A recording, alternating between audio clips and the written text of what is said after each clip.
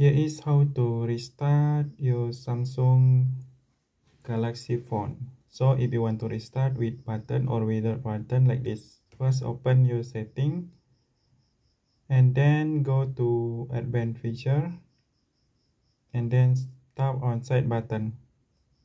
To activate this power button, you can tap from Wake Bixby like this to power off menu.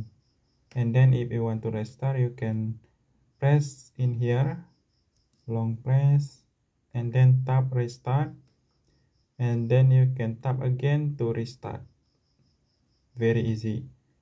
If you want to restart from this button power off virtual power off button tap here and then tap restart tap again to turn off.